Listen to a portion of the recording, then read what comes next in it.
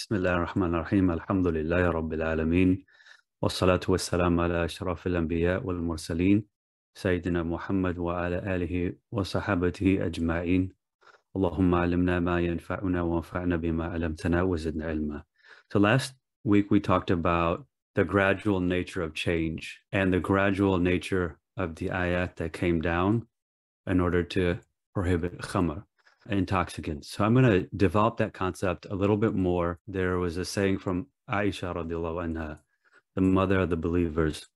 And what's interesting is Imam Suyuti puts this in his chapter of how the Quran was revealed. He brings this statement up when he's talking about the, the hikmah and the wisdom of how the Quran was revealed in piecemeal over time.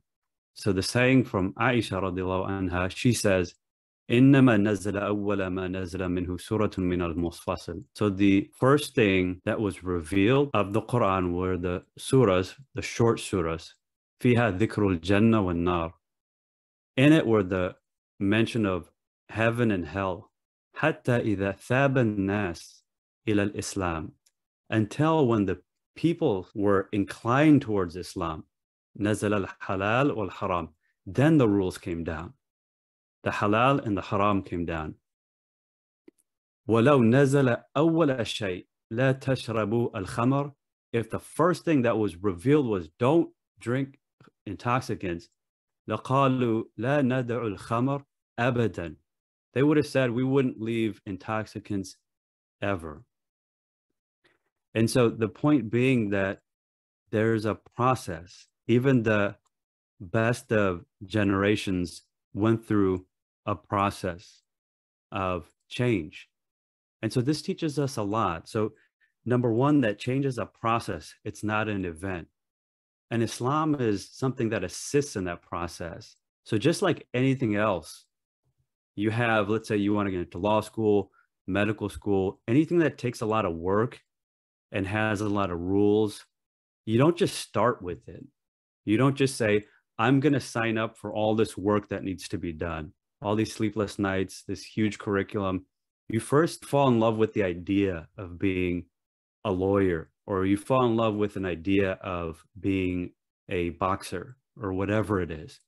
And then once you fall in love with that idea and it sort of settles in your heart, then you're willing to go through the immense training and difficulties and impose rules on yourself, a certain diet on yourself, a certain training regimen on yourself, in order to make that happen.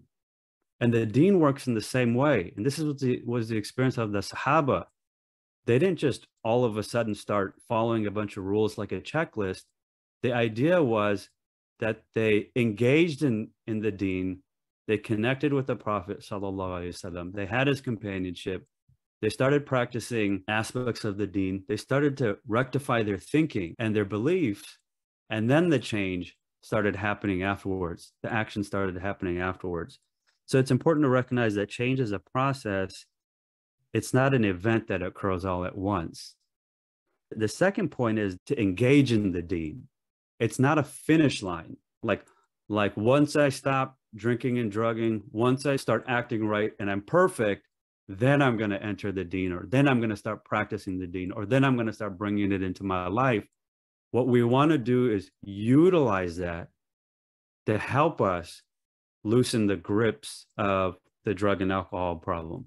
And so, what that means is engaging in learning, engaging in companionship with scholars, with people who can mentor us in the deen, teaching and learning about the seerah, about tafsir, about sciences of Islam, things that affect our hearts and motivate us towards change.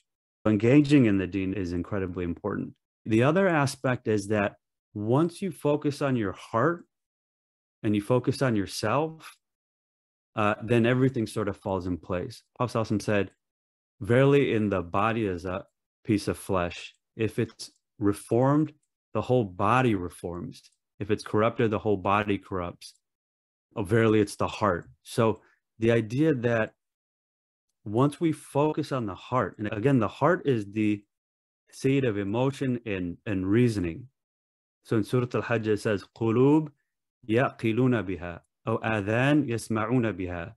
hearts that they reflect with or they think with, ears that they hear with. The heart is the seat of our, our thinking.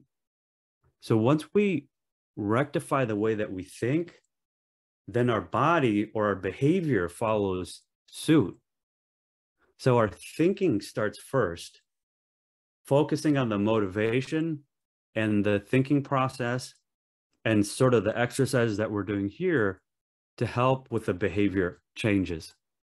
Once we're able to focus on that, then we're able to really get progress. The other thing that I found interesting here is that Aisha radiallahu anha said, the mention of Jannah and Nar, heaven and hell. Once the mention of heaven and hell came, they became inclined towards Islam. So there's this interesting concept. I'll talk about the neuroscience. There's this idea called episodic future thinking. Episodic future thinking, there's a lot of research recently on it where it talks about how you can pre experience future events if you project yourself and pre-experience future events visually and mentally, it can help reduce immediate gratification. So the idea of immediate gratification is brought up a lot in addiction. This idea that, you know, we we value immediate gratification, immediate rewards over future rewards. And what this line of research talks about is they study people who are able to imagine future situations and future selves. And when they're able to project themselves in the future and think about the future, they're more willing to discount immediate rewards and delay their gratification into future rewards. It's really interesting to look at, but it's it's so interesting here that that's what was brought first, the mention of essentially the future consequences and when they say in the rooms of recovery, playing the tape out, like playing the tape out and looking at what your behavior is going to look at, what it's going to lead to, not just the reward right now, but all the consequences that come with it. That's a really strong exercise to bring our thinking back. So we can jump into the recovery skills workbook. And a lot of what we talk about and the exercises today stem from this. And again, changing your behavior is changing the way we think about things.